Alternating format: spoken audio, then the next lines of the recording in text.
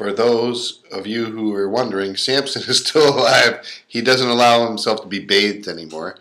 Um, he's 16 plus, and uh, he looks pretty darn nasty, but uh, he's still around, and he's still very healthy, and uh, his just his skin is sore. But we almost lost him back in August. He had his stomach turned so that he wasn't able to eat anything, and we had tried to feed him several things, but the food would fall right out of his mouth, and he would usually steal cat food from our cat, and even a few bites of cat food would fall right out of his mouth. So he got very lethargic and laid down and didn't move for a whole day. And he made it up to our bedroom where he was going to probably die. And uh, we figured that was it for him. And at 15, we weren't going to get him an operation. He was almost 16 years old. We weren't going to put him through that. He seemed peaceful. So we just let him lay all day. He didn't move.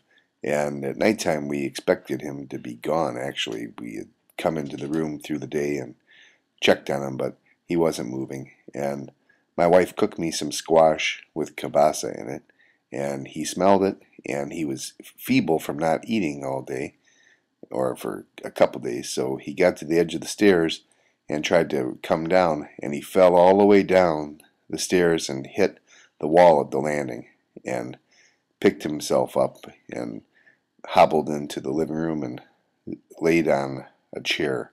And after a few seconds of looking pathetic, he got up sniffing and walked up to the plate in the dining room and he ate. Uh, and he ate the whole bowl. So we figured that his stomach got straightened out again in the fall because he was fine and he went on a big long walk, drank a couple bowls of water, and he's been fine ever since. This picture was taken at the end of August. Right after that, we went through a little dog party down the road with a bunch of pit bulls. I didn't know it was for pit bulls. I thought it was just for dogs in general, but uh, I misread the sign. But he had a good time anyway, and they all played nice with him. So uh, we don't know how much longer he's going to last, but he was running outside. We had a little bit of snow a couple days ago, and he was running around in it for some reason.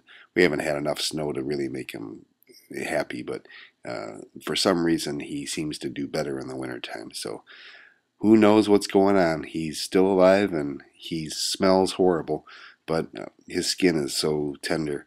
We just can't bathe him anymore, and uh, we might just cut a bunch of his hair off because he's getting mad at it at this point. But none of the, the people will take him for the dog groomers.